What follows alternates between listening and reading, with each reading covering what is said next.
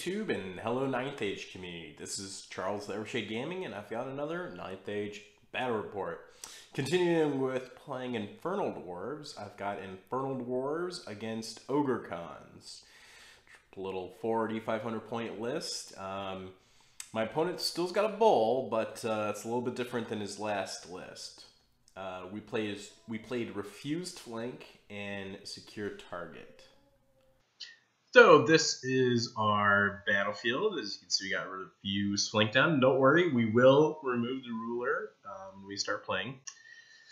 So uh, I have the side with the hill and the ruins. We got a couple forests in the middle being dissected, and then my opponent's got a, a field and a water terrain feature, as well as a piece of impassable on his side.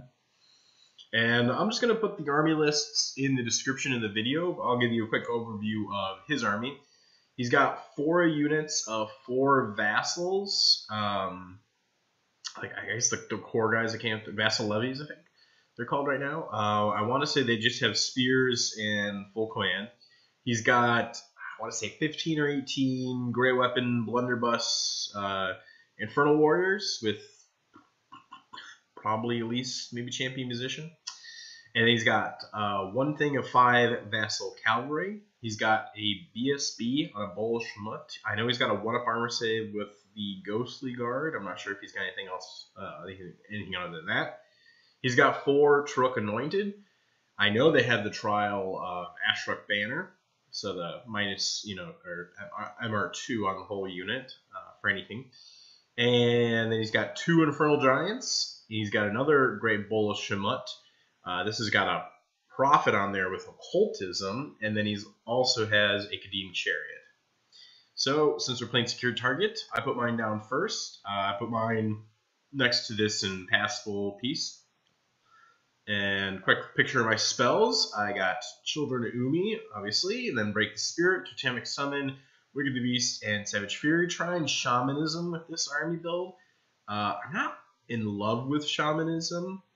Um, mostly, I have a hard time with oh, just how little offensive ability it has. Obviously, um, yeah, I didn't end up taking the because um, my opponent doesn't have a ton of shooting.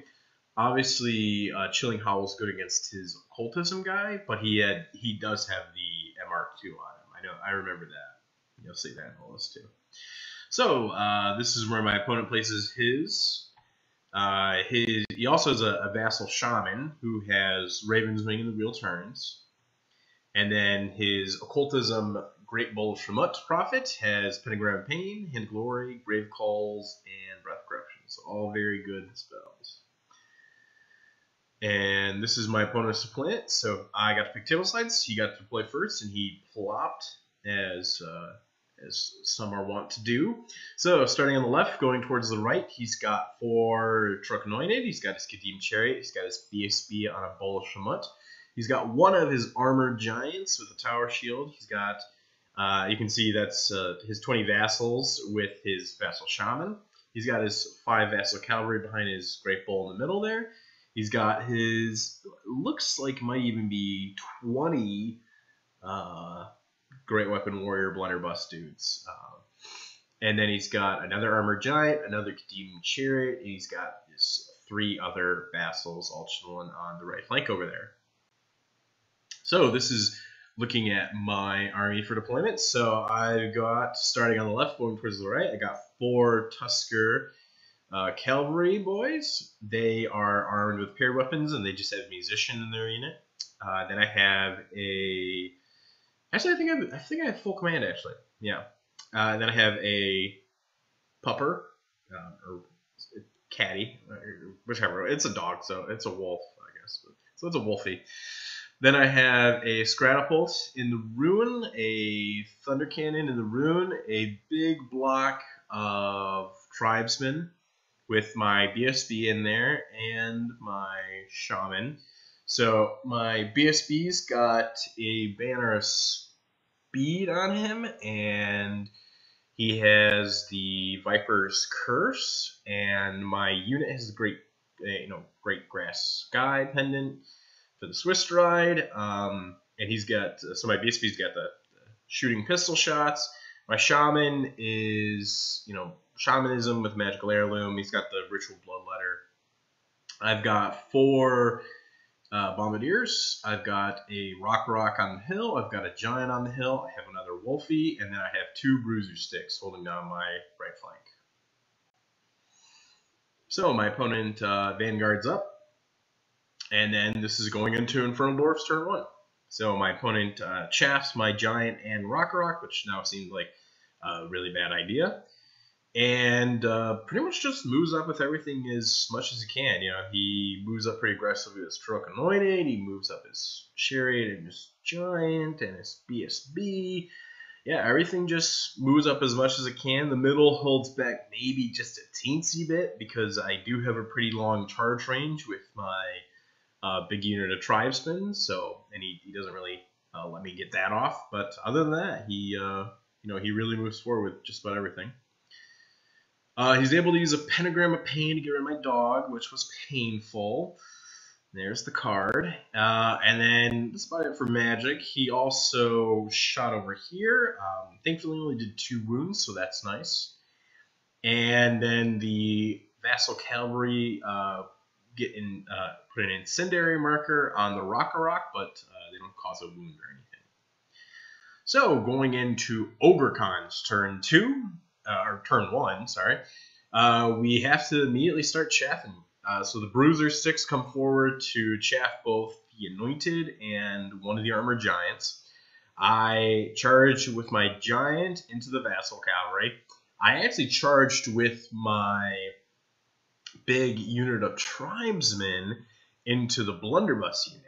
Uh, I, I, think it was like an 11, uh, so far charge, but I figured I really didn't have a lot to lose turn one. Um, obviously, it could be countercharged, but um, I won a giant and a great bull, so yeah, let's go for it. And uh, I didn't make it, so uh, they moved forward a little bit, and I moved my bombardiers up a little bit too. I really was not sure what to shoot, uh, since I just feel like I didn't have a lot of great targets. Um, but I think I'm going for the chariot, um, with the idea of doing some wounds to it, maybe. Uh, Cannon and uh, you know Scratapult just pivot accordingly to shoot at where they want to shoot at, and uh, the Tuskers are uh, uh, kind of holding back a little bit um, as there's quite a bit of stuff on his right flank. Right, there's a lot of there's a lot of stuff on his right and left flank actually.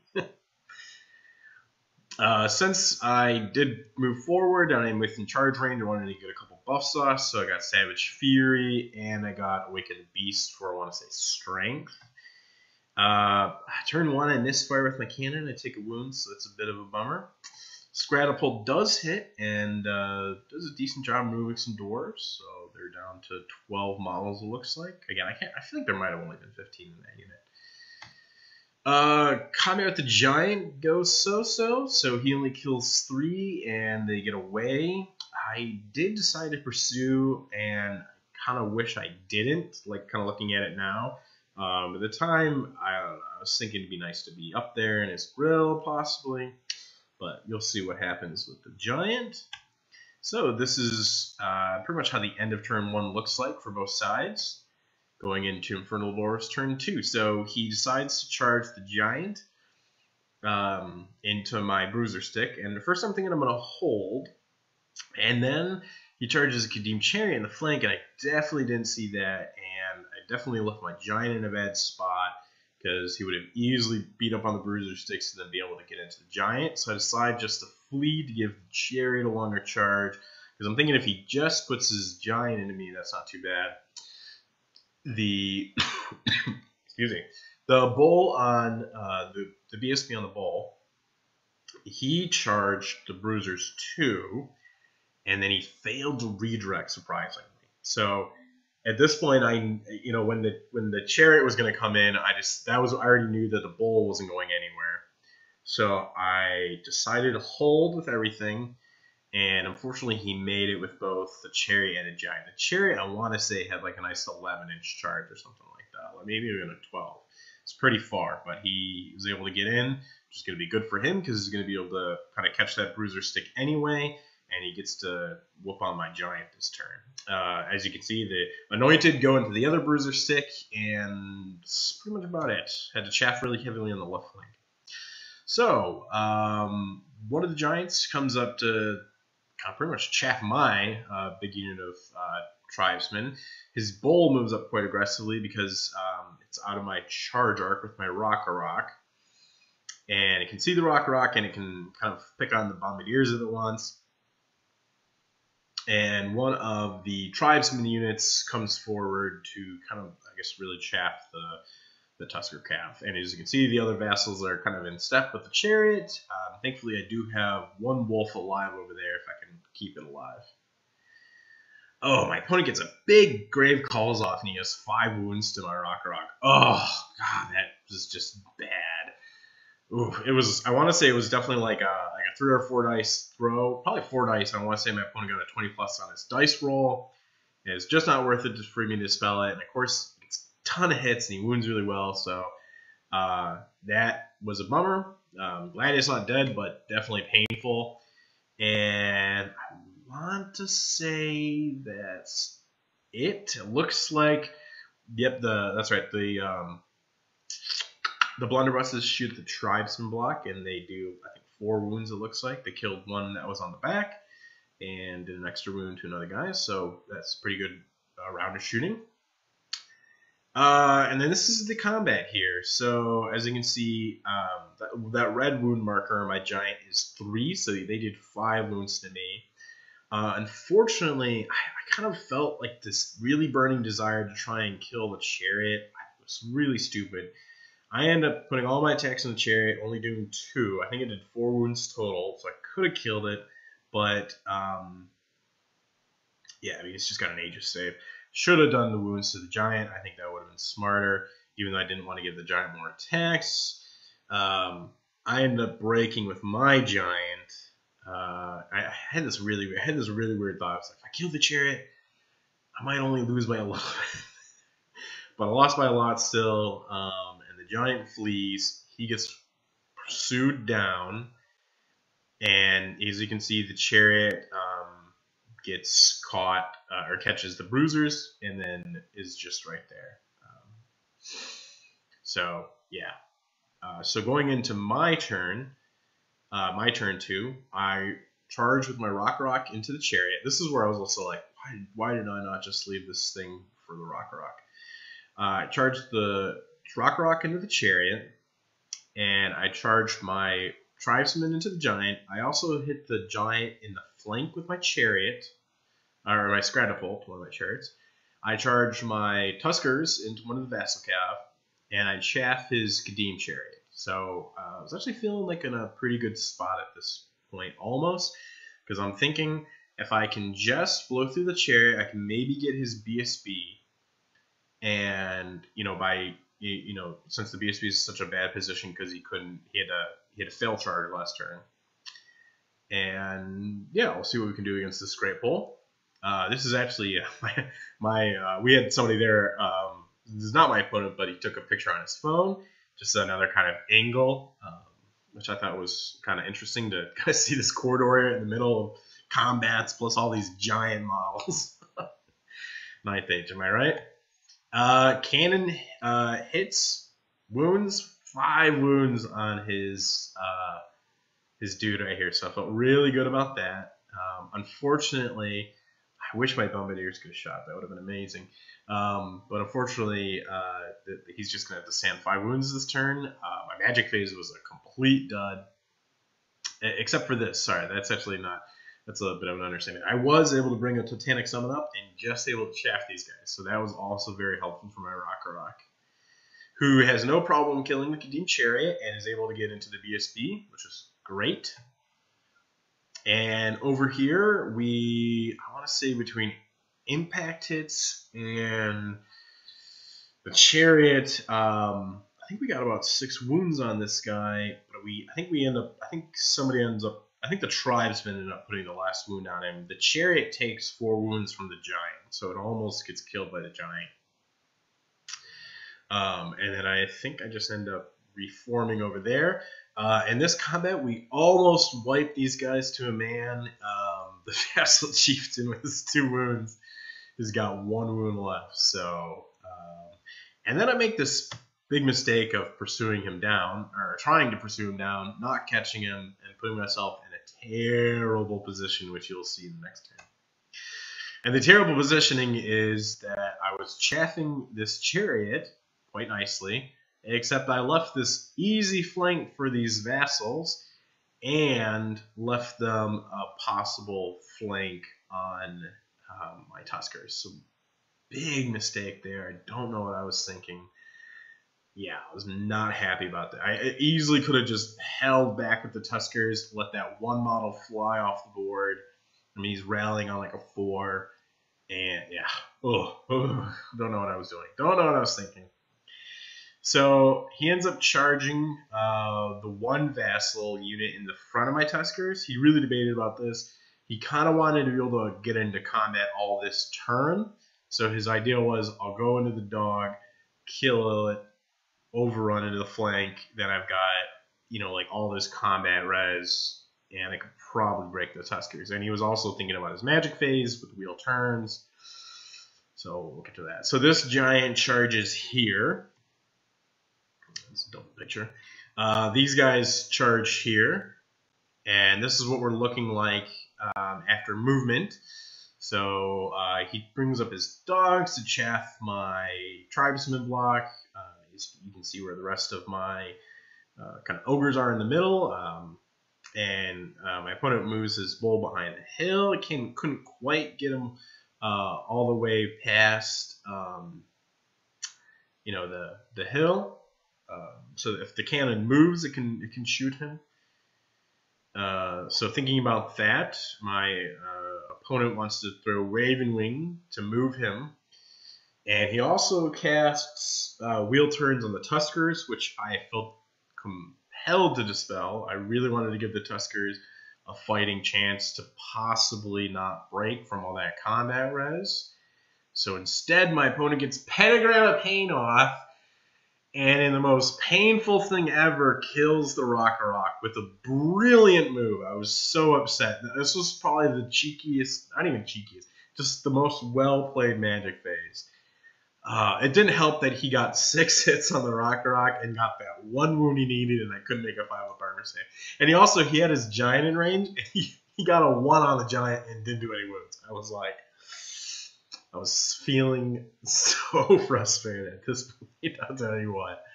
So unfortunately, the Rock Auroch dies before it gets to go into combat. Brilliant play by my opponent. I, I, I got to give it on. That that was that was well done. So these guys have no problem killing uh, the Totemic Summon, and uh, it's sort of missed what happened with the Tuskers, but I was definitely flummoxed at this point. But actually, this picture helps anyway. As you can see, the Tuskers roll brilliantly, um, and they're able to break. They just roll like animals, honestly. I mean, they had a decent amount of attacks, and somehow they just rolled hot. So they ended up breaking the one in the front and the flank, and they I one of the things that just helped is my opponent just couldn't do a lot of wounds to me, which again the resilience five on the Tuskers helps with that. So we're able to make the one in the front of the Tusker unit flee and then pursue the side one, and then this turn we charge into Kadim Chariot. Also on Ogre Khan's turn two, no, turn three at this point, sorry, uh, we charge the BSB into the Blunderbuss unit, um, thinking he's not going to kill me, and I'll probably just outgrind him in combat, and then I could just get rid of him that way.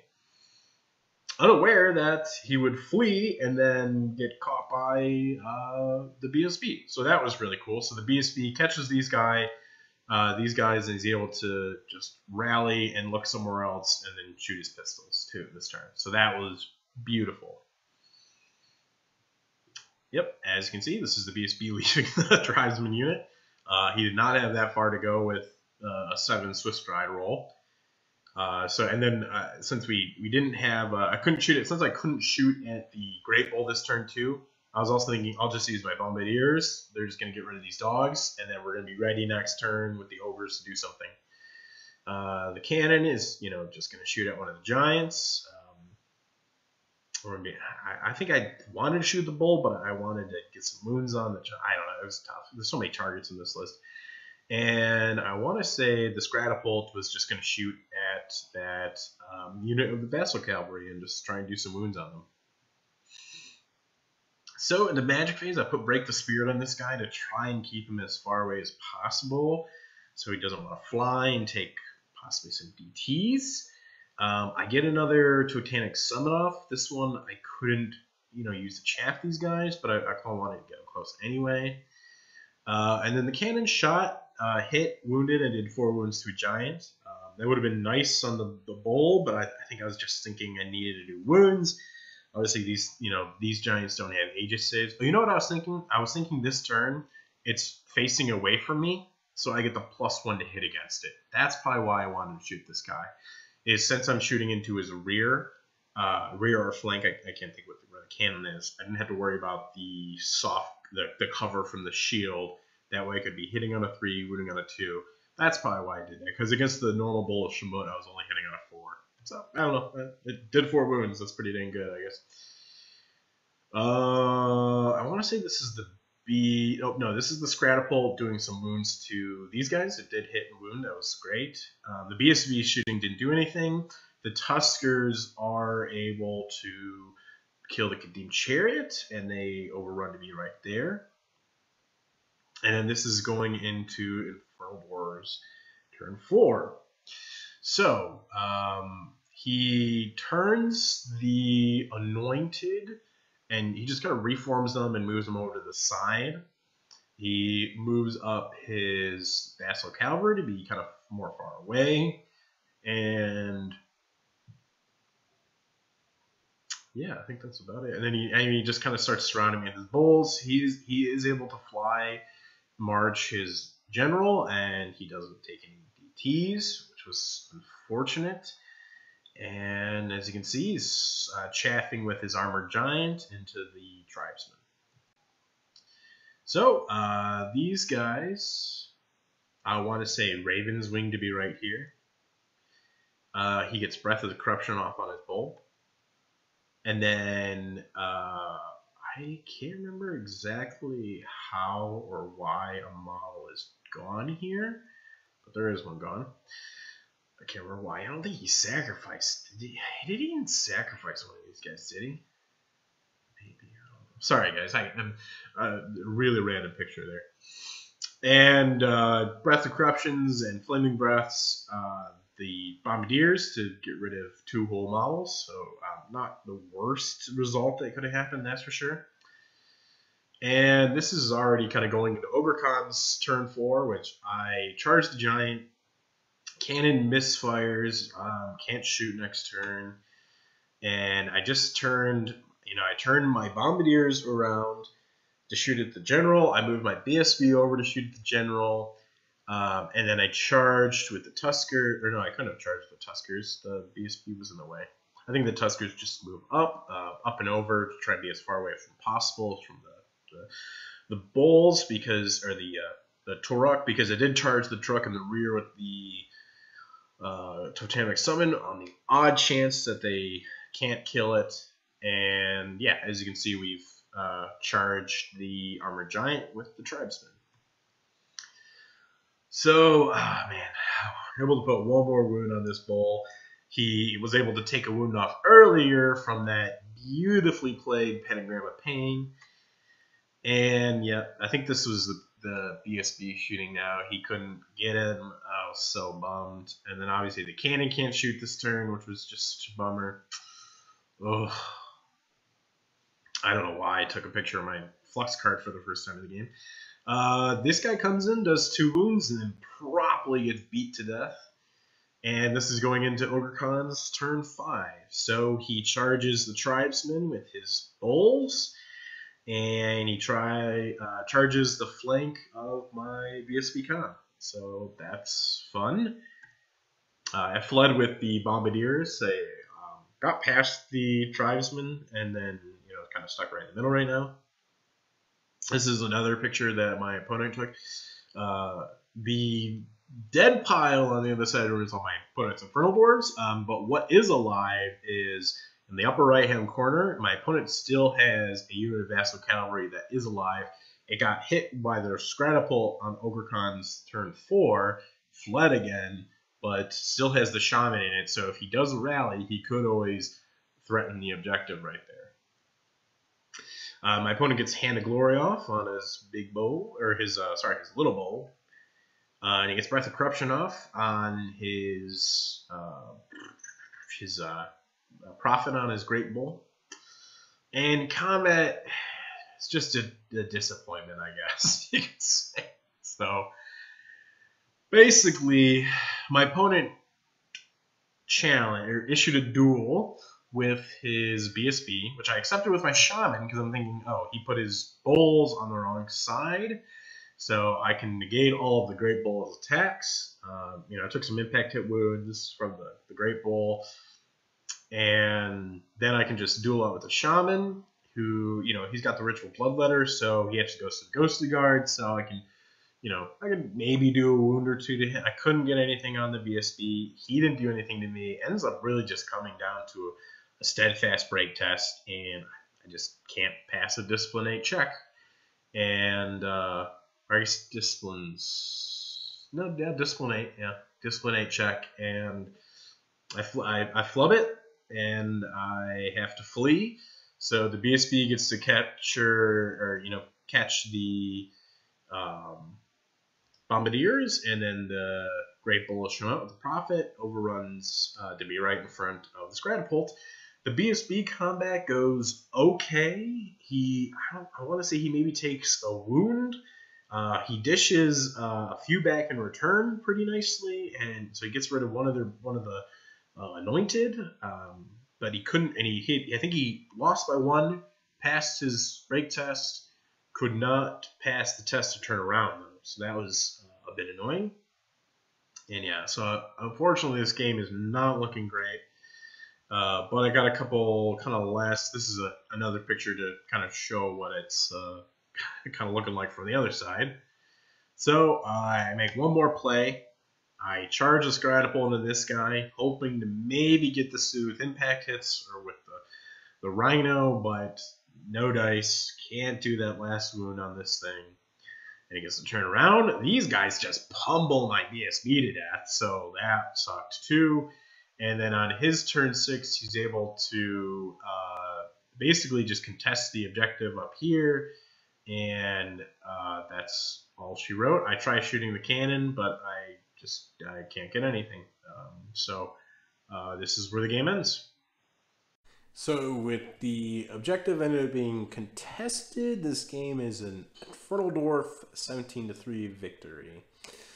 The yeah, I mean, just uh, there was kind of a lot of hot dice all over this game. Um, I mean, certainly my cannon turned up a couple times, turned down, turned down a couple times.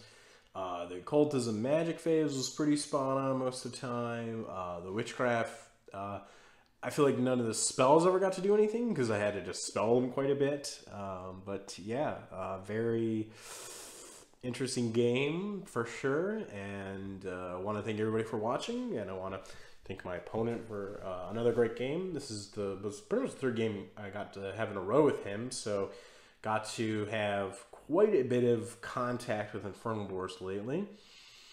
So everybody, thanks for watching as usual, and I uh, hope you have a good one, and you'll see me soon with another Ninth Age Battle Report.